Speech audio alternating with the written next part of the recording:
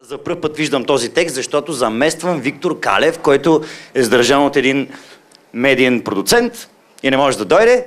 И сега аз ще прочета текста на Георги Иванов. Здравейте, Георги Иванов! Редовен автор в почтенска котия за приказки. Любимец. Добър вечер. Не се стеснявайте, Георги. Нищо, аз съм стеснен, защото каквото стане, стане. За първ път виждам текста, махам кламера. И така, не правете това у дома. Нали вкъщи беше? Що пише у дома? Или то разказ да се казва у дома? Добре, няма значение. Добре, драго. Лежа си тук на средата на собствения хол, а големият трикли, трикрилен гардероб ме е затиснал и не мога да мръдна. Протягам ръка, но GSM-ът ми е точно на 5 см от пръстите. Положението е критично, а няма кой да ми помогне. И това да се случи точно на мен. Да, обичам да помагам на хората, така съм устроен. Какво да правя? Някои колекционират пеперуди, други са алкохолици, аз помагам. В целия квартал ме знаят. Мишо Хелпа. Помагам на всички и изобщо не се пестя. Дори на работа хоря пеша. Хората не се замислят, всеки се е качил на колата си и не хая за проблемите на другите. Аз обаче помагам. Някой не може да пресече, друг си изпуснал турбите. Е, го, онзи ден дядо гони рейс.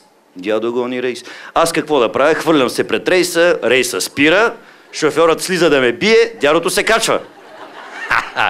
така е в природата, ако искаш да правиш добро, трябва да носиш на бой. Ето в събота две коли се чукват на улицата. От колите излизат мъже, карат се, аха да си скочат. Добре, че минавах наблизо. Казах им, че Москвич са по-здрави коли от техните. Москвич ли е? Така ги издразних, че ме свляха от бой. После облегчени и с лекота решиха конфликта помежду си мирно. Е, помагам цял живот. За първ път помогнах на татко, бях на 3 години. Татко се скара с Войчо и каза, Мишо, донеси ми теслата. И аз я донесох. После не знам защо, но майка каза, че татко е отишъл на дълга екскурзия. И от тогава, та до сега, подавам, нося, дърпам, бутам, асистирам, съдействам, замествам. да. да. О, даже съседите с обич в гласа ви казват, светът е голям и хелпът дебне от всякъде. През ръцете ми са минали от заклещени гугутки в шахта на банята, кърмачета, които не искат да ядат, до баби с склероза. Сега всеки ме пита как помагам на кармачетата. Няма да навлизам в детайли, само ще спомена, че това е един метод, който аз съм разработил. Нарекал, нарекал съм го синдромът на негостоприемната гърда. Ще си оставя мейла, мейла, ако някой се интересува. Тоест той ще си остави мейла, ако някой се интересува. Иначе тези с склерозата са ми най-трудни. С една баба обикаляхме цял ден София, не помни къде живее. Ай, накрая оставих на гвардейците пред президентството. Бабата каза, че са и внуци. Те отричаха. Дори са, се, дори са се уточнили, не знам, не е моя работа. Важното е, че жената беше доволна. Подари ми сок от бъс. Не, не, не, не, не ми е до подаръците. Да видиш благодарността в очите на хората, да чуеш, Мишо, чудесен си, няма вече такива като теб. Ти си пратен от Господ, ние те заслужаваме, ела да те почерпя, ела да те запознаеш с дъщеря ми, имаш златни ръце. Само толкова ми стига. Иначе хората много държат да ме черпят. Аз колко бомбони простор съм изял. Ехе, ма ги развалиха. Не са като едно време, има си аз. Е, добре, де, понякога така, като се седя в нас, си гледам ръцете и си фантазирам как има една такава награда, златна ръка. Статуетката, разбира се, се представлява протегната напред ръка. Даже чувам и златна ръка за 2014, присъждана, на, присъждана за принос към човечеството, отива при... Аз съм номиниран. До мен седят Обама, Путин, Алекси Сукачев. Излишно е да казвам кой печели, все пак фантазията е моя. След което следват интервюта, плакати, календари, паметници, турнет, изказване пред ООН. Жените долу се блъскат и крещят «Помогни на мен! Помогни на мен!» Лошото е, че провери в Google, вече е имало такава награда, златна ръка, но ме е срам да кажа за какво се присъжда. Помогни на мен, помогни.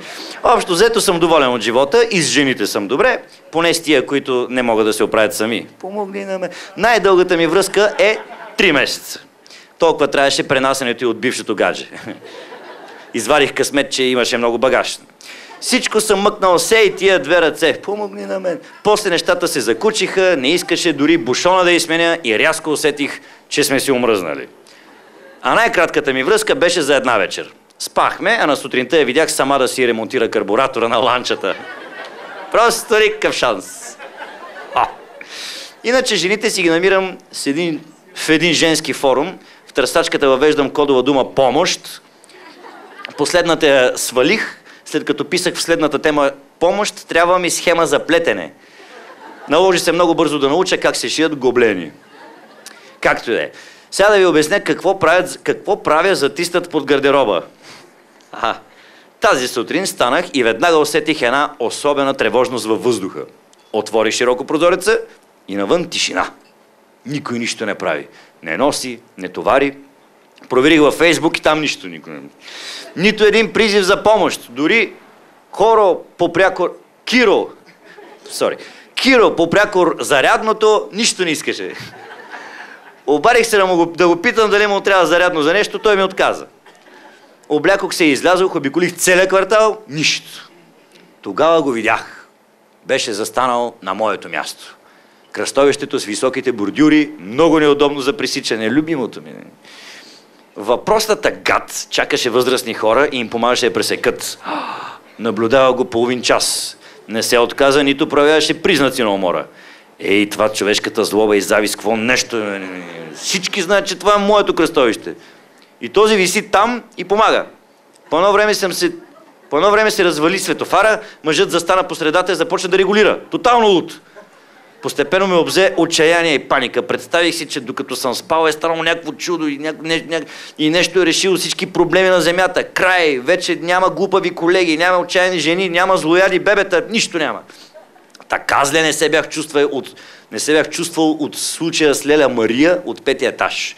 Тя беше много бедна горката и живя две години без ток. Един ден реших да я го платя.